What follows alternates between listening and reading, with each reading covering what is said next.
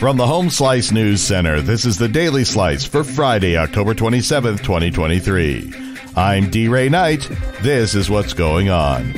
Deadwood's gaming numbers fell in September when compared to last year, according to the South Dakota Commission on Gaming. Overall gaming revenues were down 4.64% over September of 2022, with slot machines down and table games up slightly over last year. The total taxable revenue for the month was $12,927,083.47, with a total tax due of $1,163,437.51. So far this year, Deadwood's handle is up 2.63% compared to last year. Sports wagering continues to increase over last year, with September numbers up nearly 38%. For the year, sportsbooks are up 25%. The Rapid City Arts Council announced that nonprofit art organizations in Rapid City generated over $204 million last year. The executive director for the Rapid City Arts Council, Jackie Dietrich, said nonprofits in the community employ hundreds of people in the city of Rapid City. The average attendee spends $56 for arts and culture based events, not including the cost of admission. In national and international news, the Pentagon says U.S. fighter jets launched airstrikes early Friday on two locations in eastern Syria linked to Iran's Revolutionary Guard Corps.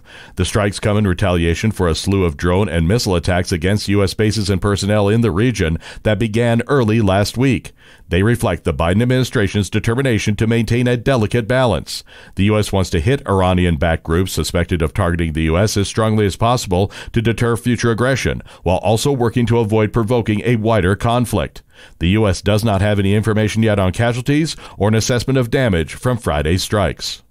Meanwhile, Israel's defense minister says it expects to launch a ground offensive into Gaza soon, adding it will be long and difficult and aim to destroy hundreds of miles of tunnels used by the territory's militant Hamas rulers.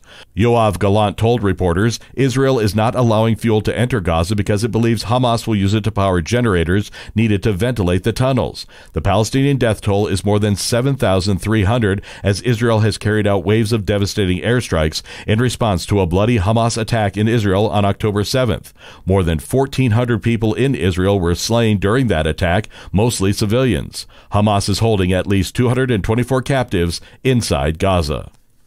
According to a new poll by the Associated Press, about two in three Americans say their household expenses have risen over the last year, but only about one in four say their income has increased in the same period. As household expenses outpace earnings, many are expressing concern about their financial futures. What's more, for most Americans, household debt is rising or not going away. About half say they currently have credit card debt, four in ten are dealing with auto loans, and about one in four have medical debt. Just 15% say their household savings have increased over the last year. Your weather forecast from the Home Slice Weather Center. Mix of sun and clouds and 32. Low tonight 15. Saturday, a dusting of snow is possible with a high of 29. Warmer and 34 on Sunday. And that was your Daily Slice for Friday, October 27th, 2023. The Daily Slice is a production of Home Slice Media Group, hosted by D. Ray Knight with Amy Rose. Executive producer Mark Houston. Engineered by Chris Jaquess. I'm D. Ray Knight. Have a great weekend.